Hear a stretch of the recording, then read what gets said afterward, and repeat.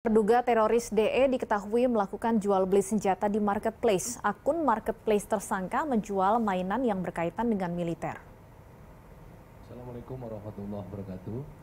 Densus 88 menduga akun marketplace tersangka ini hanya kamuflase untuk menjual senjata api ilegal.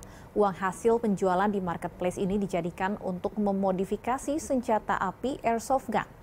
Hingga kini polisi masih mendalami aktivitas akun marketplace ini. Apakah memang hanya mencari uang atau dijadikan sebagai sarana lain? Selain itu, penyidik juga terus menelusuri aliran transaksi dari tersangka DE.